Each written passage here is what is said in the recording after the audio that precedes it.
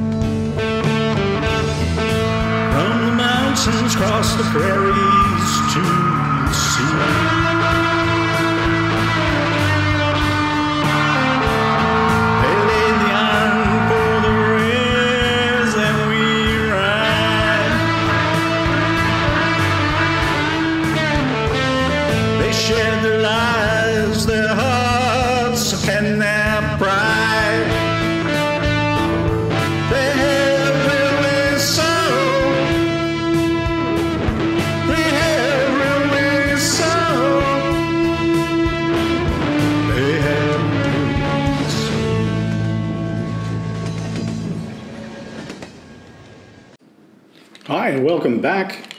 Uh, I hope you enjoyed the um, Railroad Soul song and uh, the little video introduction. Now, I just wanted to start by saying the reason I'm doing this uh, sort of introduction, overall um, track plan and development uh, in the history of the railroad is because I'm a, I'm a big fan of the TSG Live uh, programming uh, that John Abiticola does. And uh, I was listening to one of the episodes in which Brian Henderson was talking about layout design. And he said it's really good to have an idea or a concept of why the railroad exists so that it can develop in a more natural way. Now, I'll be the first to admit, like a lot of things in railroading, uh, in model railroading, I've, uh, I've done it uh, wrong.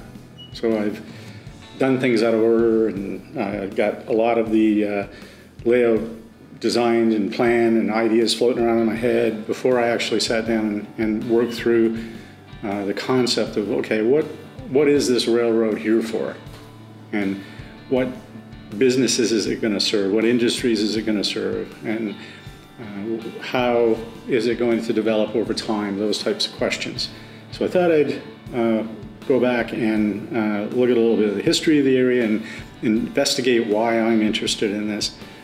Uh, and hopefully it'll spark some interest in you to maybe do the same thing with your railroad or uh, uh, maybe you just want you just enjoy you know uh, hearing the history of different railroads so the map that you see here is the uh, Grand Trunk Line. Now, this Grand Trunk Line is basically the, the, the backbone or the, the bones of the prototype that I'm modeling, okay, loosely modeling. Uh, now, this is, has a very interesting history, and, and uh, I'll just go into it a little bit.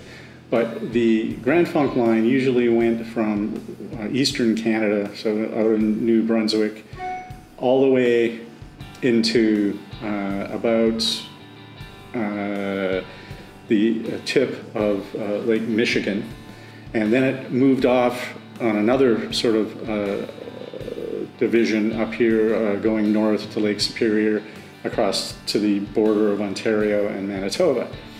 So that was the original Grand Trunk Line. And this Grand Trunk Line was owned by a bunch of businessmen in England. And they were approached by the Canadian government to continue the line west out to British Columbia. And they decided that it was not fiscally uh, reasonable to do that, so they declined that offer. And then the that opened up the uh, potential or the opportunity for another business to take on that uh, challenge, and that's when the Canadian Pacific Line became into existence. So the Canadian Pacific Line ran the railroad lines from Ontario all the way across to, to British Columbia. Now, interestingly enough, the uh, businessmen uh, that owned this Grand Trunk line uh, decided that it wasn't lucrative enough, and they approached the Canadian government to see if they would nationalize it, buy it from them, basically. And so that developed the Canadian National Railway. So now we see the development of the CN, the Canadian National Railway, and the CP, the Canadian Pacific Railway, and why they came into development, and why they're such bitter rivals even until this day. So uh, this is the, uh, the Grand Trunk line. Now, if we just look, I want to take a, a, a, and blow up some of this Grand Trunk line because this area right here around Simcoe, Port Dover, okay, this is where I grew up. And believe it or not, we, uh, our house was located about 500 feet from one of these uh, railroad lines. And uh, this was a great uh, part of my childhood.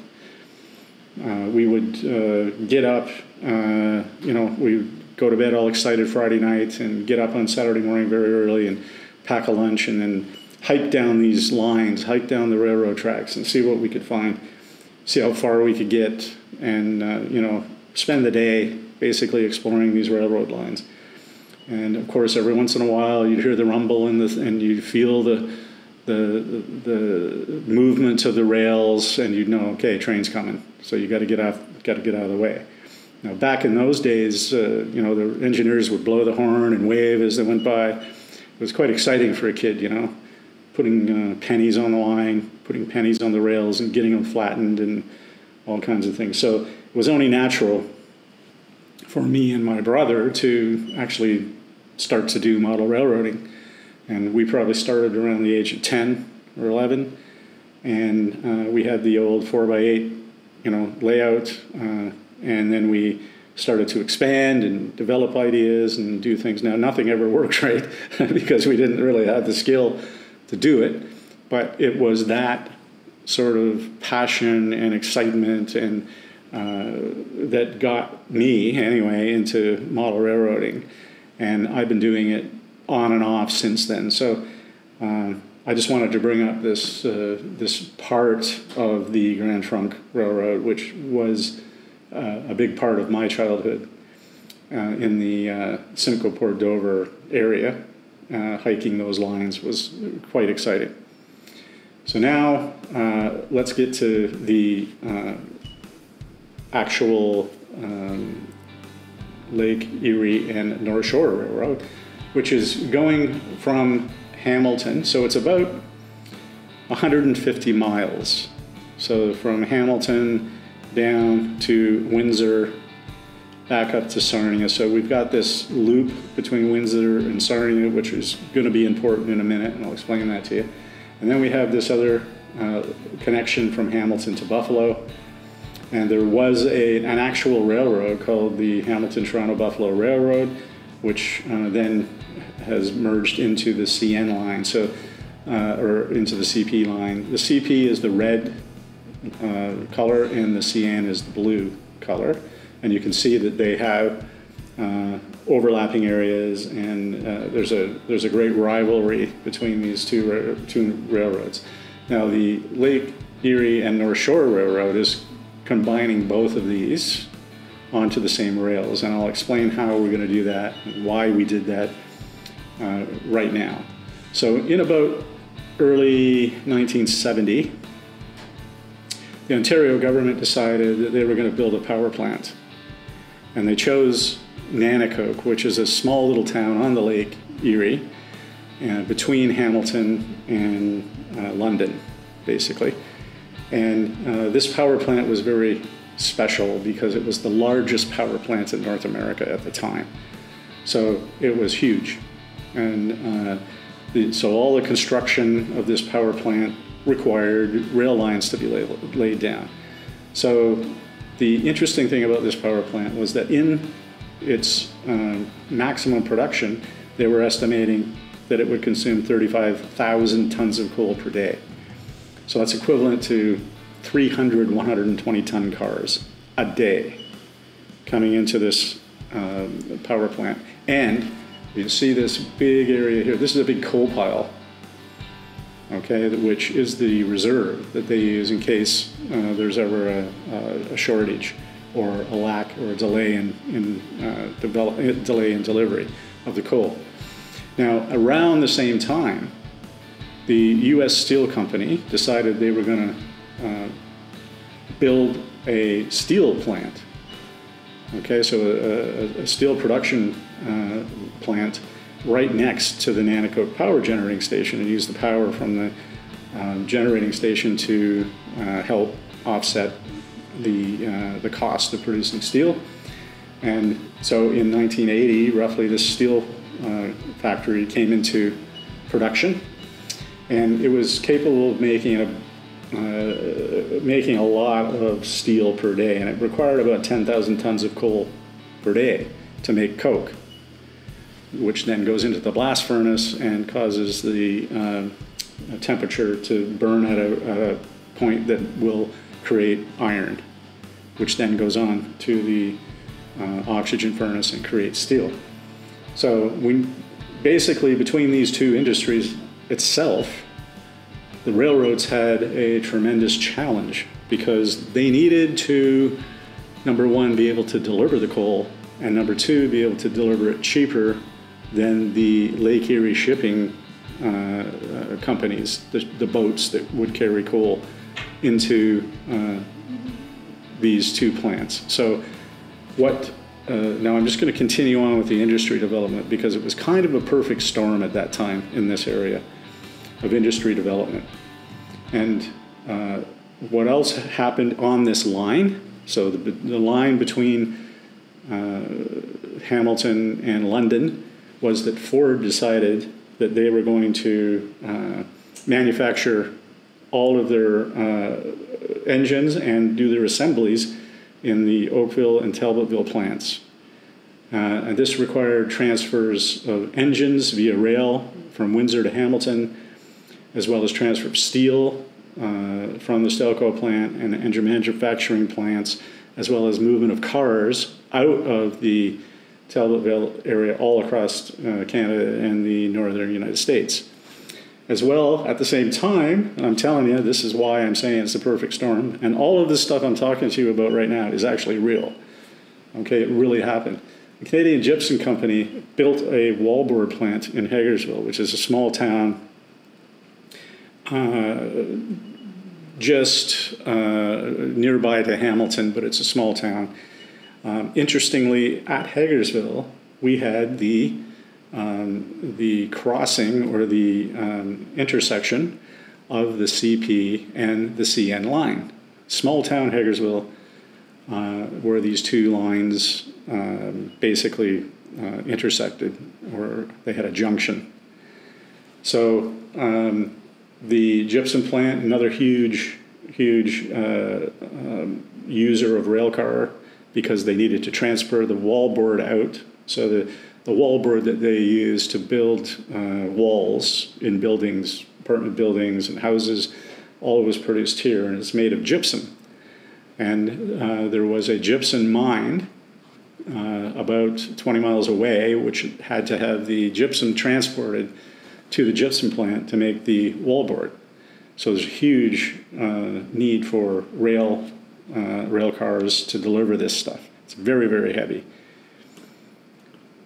Now, also at the same time, the American Can Company uh, expanded in Simcoe, which is another was the town that I grew up in, and uh, they expanded and they produced uh, cans for canning of fruits and vegetables and soup, that type of stuff. Anything that can basically go in a can, all the foodstuffs that can go in a can. And as such, they had they produced products for Campbell's, Del Monte, Heinz, all the big names, and those had to be both the, the steel for the cans had to be shipped in, and the cans then had to be shipped out to uh, ports and locations all the way across North America.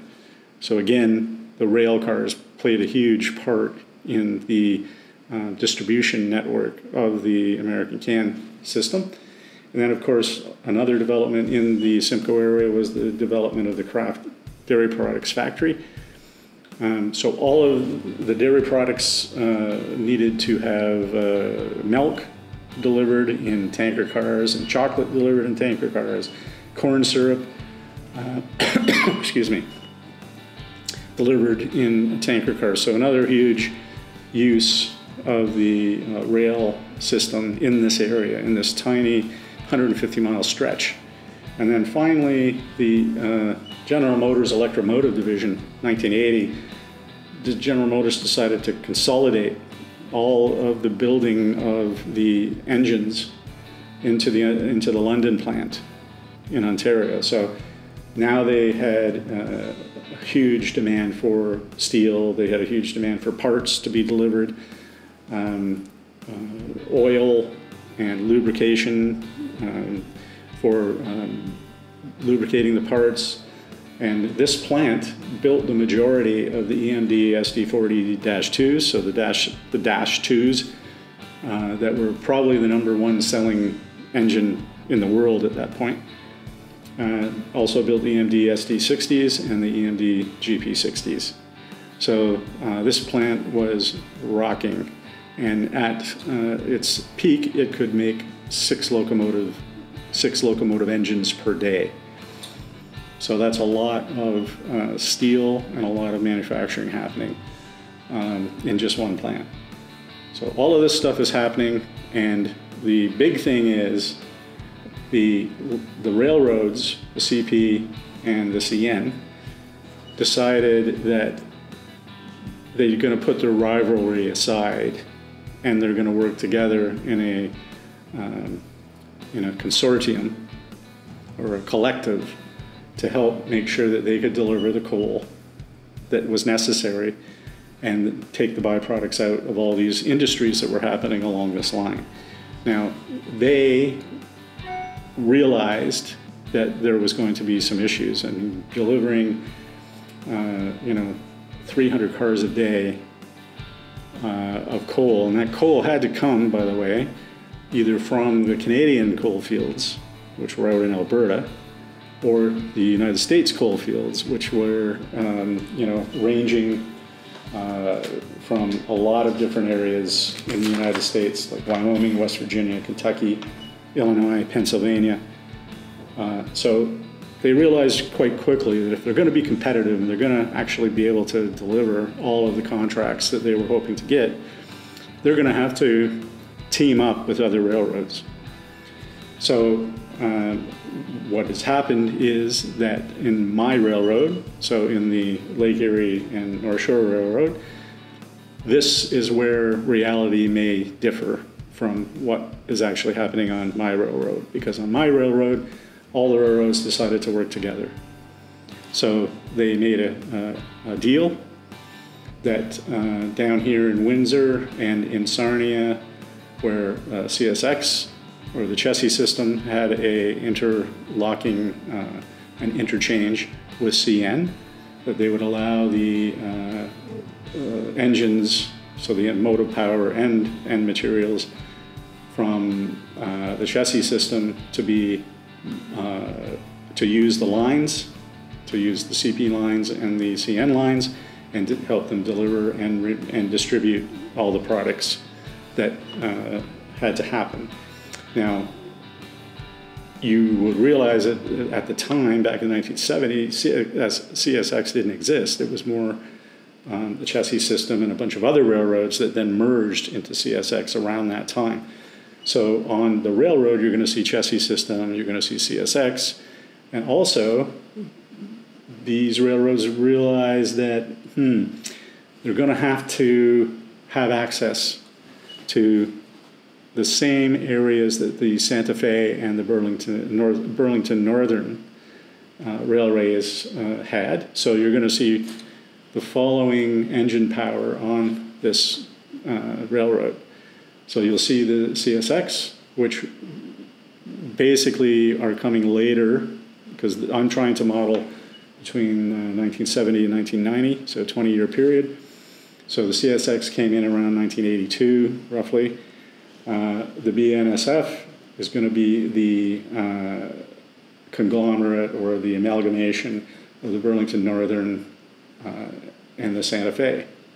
But before that BNSF merger happened, these two railways were using the uh, rails of the Lake Erie and North Shore Railroad. So on this railroad, you're going to see Canadian Pacific Power, CN Power, Santa Fe Power, CSX, Chessie System, and BNSF.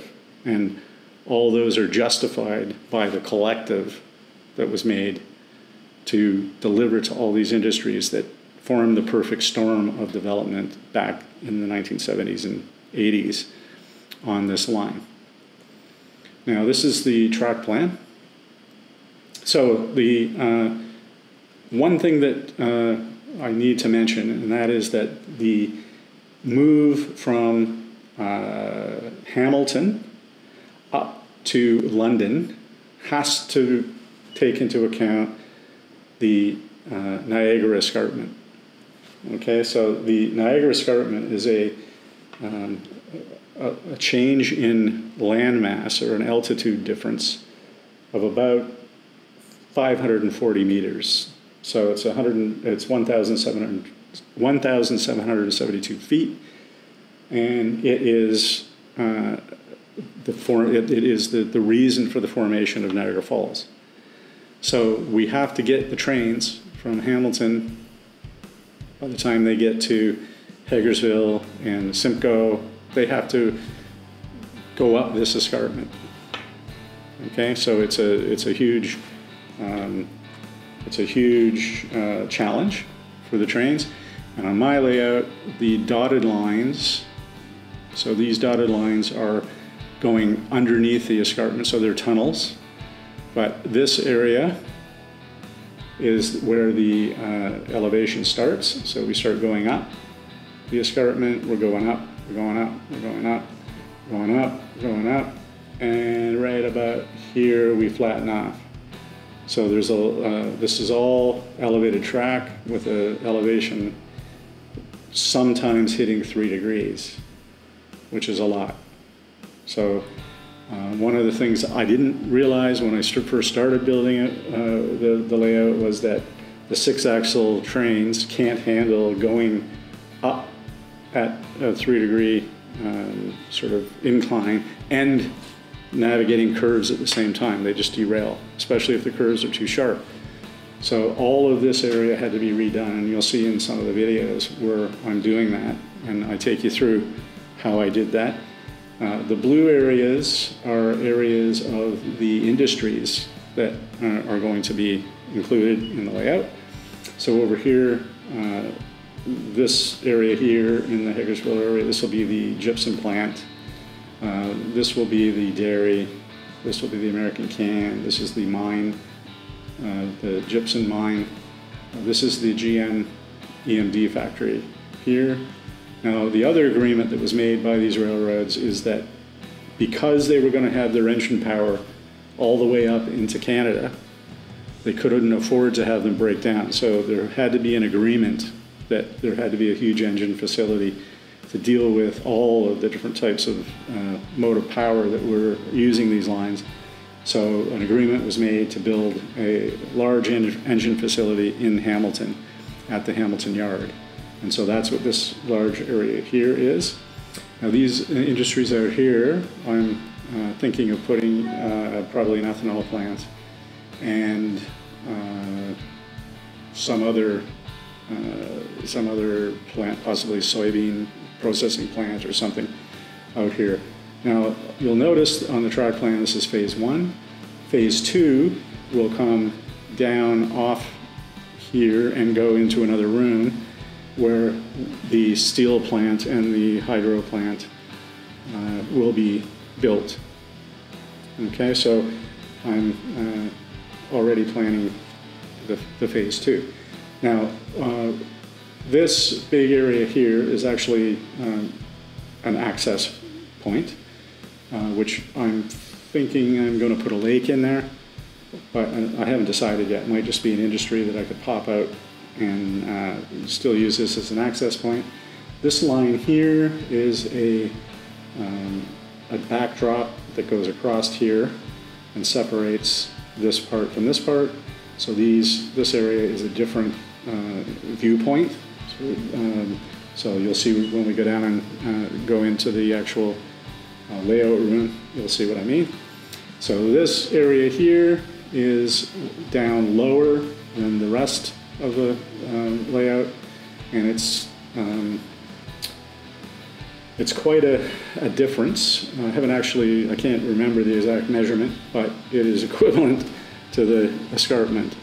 So uh, I'm struggling now to decide how to handle that. So I was uh, watching a uh, an episode of the TSG Live again, and they went and did a uh, railroad tour. I can't remember exactly which tour it was, but they had kind of the same problem where they had to have uh, a, a, large incline that they had to have the engines go up, and they used um, multiple consorts uh, or consists, multiple consists, and a engine at the back of the train. So what I'm having trouble with is uh, some derailments, not derailments, uh, uncoupling. So coming up this last little bit here, there's there's uh, an area where the cars tend to want to uncouple a little bit, and um, I'm thinking if I have a train on the end or an engine on the end, that uncoupling won't happen. So hopefully, I'm going to come up with some ways to uh, get around that. So this is the track plan. Uh, this is the yard at Hamilton.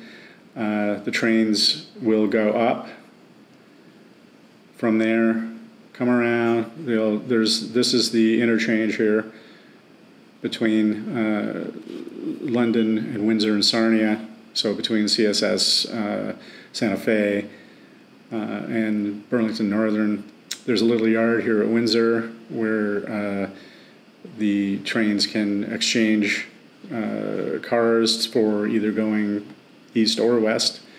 And that's why I had to do these multiple uh, interconnecting uh, inter interchange areas. And you'll see one of the episodes is me installing this because uh, I didn't have that in there before. So um, we have some videos of the building some components of the engine facility, installing the turntable, um, doing some construction here on the uh, curve reconstruction, uh, as well as installing the tracks for the mine. Um, and uh, I'm going to hopefully um, take you through uh, a journey that is going to be long and winding.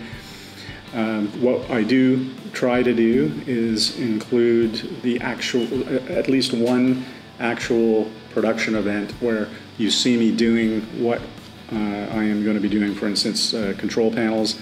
So if I'm building a control panel, I show you uh, exactly how long it takes to, to do a section of the control panel because I think uh, a lot of the videos that I see anyway, you don't see how long things take, and it, and it does take some time. Uh, and that's important if you're trying to budget your time and say, look, I'm going to go down tonight and I'm going to, you know, build a control panel. Uh, it's not going to happen if you've got more than sort of six switches in there. So, because it takes time to actually build them. So I'm, I show how long it takes. And I know a lot of you probably uh, know how to do it and know how to do it way better than I do. But uh, I made that commitment to myself to show those things just so that uh, if there are people who you know want to say, okay, I want to see how he did this all the way through, uh, you can watch it, you can rewind it, or you can skip through it. You can, you know, fast forward through it if you already know how to do it, or you don't need that.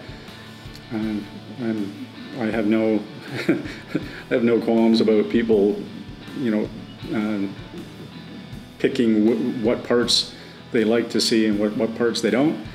Um, this is just a, a, a, YouTube channel to help everybody uh, understand sort of the challenges that you might go through uh, and try to give you some tips of things that I've learned. Um, that uh, I know that we're going to have a whole episode on um, the PM42 programming and the PM That's the Digitrax PM42 um, power distribution stuff because I found it totally confusing and the directions were brutal. So uh, you, you, you, do a little bit of trial and error and then you, you know, eventually you find it. But it's way easier if you can just do it all, you know, if you know how to do it and you do it right the first time. Okay, so that's what this is all about. Now, uh, let's uh, take a couple more minutes. I know this is getting long. That's the other thing. I run these things as long as they have to go. Okay, I'm not putting limits on, like, you know, 12 minutes or 20 minutes or whatever. If you want to stop after 20 minutes, that's fine. Start it again when you're in the car or, you know, we're at home, whatever. That's fine. Or skip through it or don't even watch it. That's up to you. But I'm going to take these things through because one of my frustrations is you get into a YouTube video and then they stop it. And then you try to find this you know part two or part three or whatever and you spend hours trying to find that. So I'm I'm not doing that. So I'm running it all the way through. So some of these videos are going to be long. Okay so I'm warning you right now. All right so I'm going to just uh, cut from this and we're going to go down to the training room and I'll just uh, show you the actual state of the layout as we are today. Um, there's been no track painting, there's been no ballast laid. Uh, I'm still working through some of the operational things like the uncoupling and things like that. So uh, it's a fairly um, early in the development stage, so you're going to get to see uh, a lot of stuff. You're going to really, truly see the growth of this railroad. Okay, so we're going to stop it now, and uh, I'll be back in a minute. Okay, here we are down in the train room now. So I'm just going to start at this end of the train room. So this is the Sarnia end of the train room, or of the uh, layout. And you can see the loop. That's where the uh, ethanol, hopefully the ethanol and uh, probably soybean uh, processing areas are going to be. And then we move down the track. This is now into the Windsor yard a few uh, cars there just to give you perspective. And as we move down from the Windsor Yard, this is the interchange uh, um, track, which will allow interchange between uh, all of the different uh, mode of power that we have. So I'll move down, you'll see the uh, bench work is half inch uh, plywood mounted on 2x4s and I'll show you the, um, the fascia in a minute. And then this moving down, this is the area that's going to be the EMD plant, so the General Motors plant. And moving on around here, there's the access point, which is right now a hole, but uh, maybe a lake or something else. And along the tracks beside it, uh, will be uh, some industry, probably American can type industry there. Now I do have some models laid out, but they're just for perspective, they're not in the right place. And then as you can see, this is the area here for the mine. So this will be the gypsum mine. And then the track moves down and goes down uh, down the escarpment and comes out in two places. So the first place is here, this track. So this track is now ascending up through the escarpment. This track over here, you can see it starts to uh, the incline there and gradually increases until it then loops underneath the layout over here and comes out the other side and I'll show you that. Now, uh, you'll see this just stack up a bit here. Okay, so this is the Hamilton area, so the Hamilton yard. And this is going to be the area of the engine facility, so you can see we've started some of the engine facility stuff. And there are videos on the installation of the turntable, on the build of the uh, roundhouse, and the build of the engine uh, terminal. There's also another uh, video, another episode on the building of this yard. Now, those of you who are sharp will realize that this yard does not meet, does not match the track plan that I just showed you, and that's because some of these switches had to be changed so that I could get the, uh, I wouldn't have a conflict getting the um, Tortai machines put in. So hopefully that's been taken care of. And then we move over here, you'll see there's a, this is the distance that I was talking about. So this distance is the uh, escarpment, so the Niagara escarpment. So we have to build in some, some nice uh, mountainous, uh, rocky areas here, which are gonna um, portray the escarpment. And we walk over here, and we can see the areas uh, of Simcoe and Hagersville, where we're going to have the uh, gypsum plant over there. I said before it was the gypsum mine over there. And we're going to walk all the way around under through this hole. And now you can see there's a different view here. So this is um, climbing up the escarpment. And this area here is known on the track plan as Waterford. Okay, and you can see that we have a different um, backdrop here. Now there are videos, uh, there is an episode on installing the backdrop. And now I'm just gonna take you down and show you the fascia. So we have this fascia all the way, around the track. There's another episode which shows how we put this fascia in.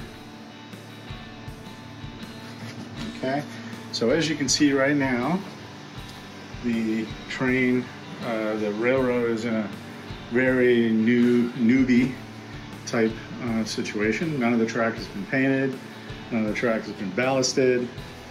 You see I'm working here on the third control panel. The other two have been installed there, and there are also videos on how we made those. And so this third control panel will continue those that video series because it's going to be a little bit different. Now as we walk along, you'll see the fascia drops off. And that's because this is going to be a lake in here. And this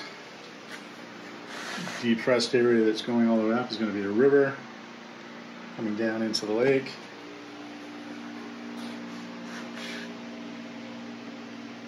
Okay, so now I'm just going to flip up to the backdrop because we do have a video series or an episode on uh, installing this backdrop. Uh, and if, for those of you who want to install backdrops, uh, I would uh, highly advise you to watch that video because there's a lot of tips in that. Okay, so that's the backdrop area.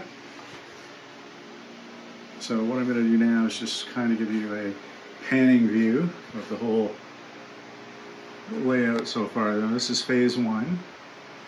And phase two is going to go into another room and have the steel mill and the power plant and a few other industries in there. So you can see it's multi-level. We have multi-level um, movement, which has caused a lot of engineering problems for the uh, for me and for the railroad. But I think in the end, it's going to turn out really well because we're going to have a lot of multi-level stuff happening, uh, trains moving at different uh, levels, and I just think it's going to be really cool.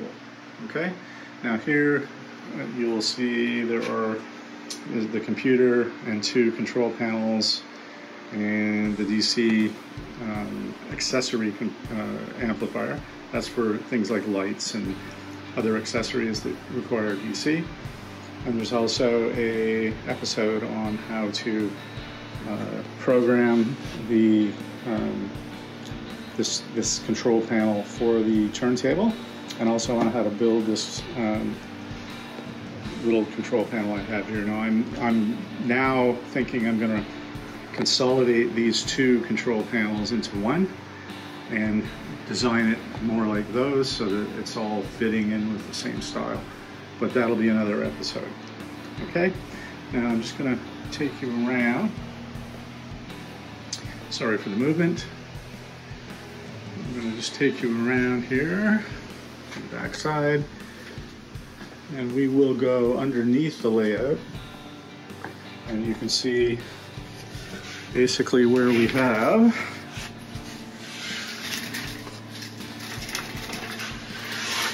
So this is underneath that area where the access hole point is. And you can see we have our wiring, our PM42s, and all of the amplifiers, uh, power supply, um, and the Digitrax uh, power, uh, Digitrax uh, amplifiers and um, boosters here. And I just give you a quick look at the wiring.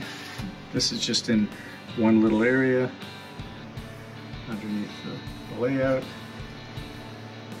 And I'll show you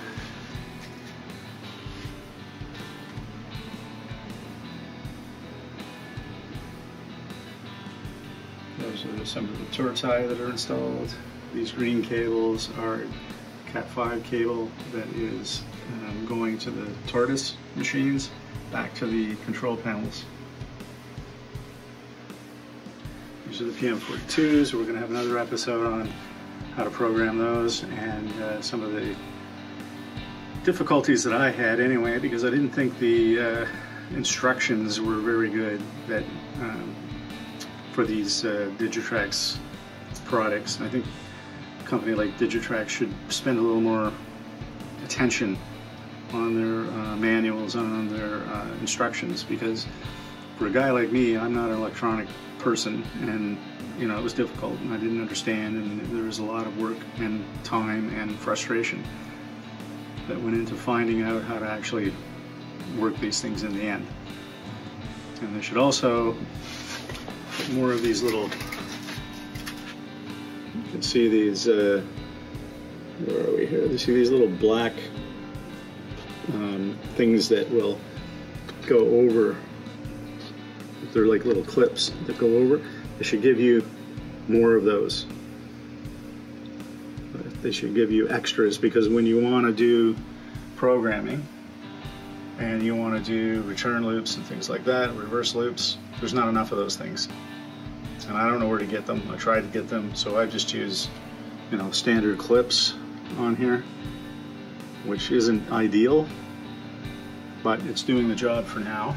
So Digitrax people, if you're out there listening, we need extra stuff when we when we get the PM42. Put a couple extra little pins in, and they, they're not that expensive, for God's sakes, and it will save lots of time for us. And also, make sure your instructions in your in your um, description of how to do things are much more clear. Okay, so uh, that's my two cents on that and I'll take you out of here now. And so what I have is just a chair with wheels so I can just roll out. So it's not really a duck under, it's a roll under. Come up. We follow this back up. And right here is where I'm having my problems with uncoupling. So I'm going to have to look at dealing with that. Uh, probably put that in another episode. Okay, so I think we've covered the uh, layout pretty good. You can get to see just sort of how it how it looks and how it fits. And we will uh, see you in episode two, where we will um, start uh, looking at how we put the fascia on and then episode three where we put the backdrop on. Okay, and there's many episodes from there. So hopefully you'll stay with me and enjoy the whole show and give us some feedback on the comments. And don't complain too much about the the time and the length of these things because quite frankly I'm just going to keep doing it. So I'm going to do it until I think uh, the topic's been covered you can fast forward, you can not watch it, you know, whatever. But that's how we're going to do this. So hopefully you'll enjoy it. And I'll talk to you and see you for episode two. Take care.